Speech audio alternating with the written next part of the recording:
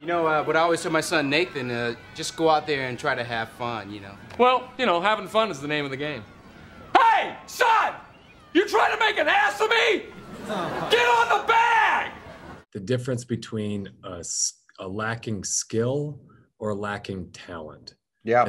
Those two things are very big. And so a simple a simple example would be if you're coaching youth baseball players and you have a kid who's just not fast and he gets thrown out at second, hustling his butt off. But he gets thrown out on a play that all other eight kids on your lineup would have made it into second. I think the last thing you do is pull him aside and say, You got to get faster. When I watch you run the bases, I, I want to close my eyes and not watch because you're so slow. There's no advantage. Like, that's the truth. That's the honest truth. But what can he do about it? He's he's slow. That's genetics. That's picking on a kid because he doesn't throw hard enough or he doesn't. There are certain things that just they can't do versus a skill. So let's say he got picked off at first because he wasn't paying attention. He was looking out into left field and not paying attention. Now that's an area where you can coach. That's a yes. skill. That's a skill paying attention. Hey, you you you got to be on the base until he steps on the rubber and all you're looking at is his front leg, nothing else in the park.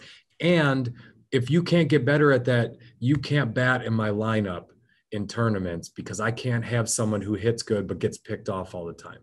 That's radical candor. That's that's a skill that you can coach a little, you can give them some knowledge and you can let them know a few ramifications, but it's not a talent that he's lacking.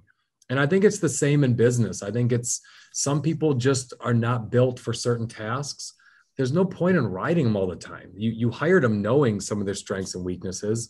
Focus on their strengths, focus on the areas where you can build and the stuff that they're just not good at. Manage around it.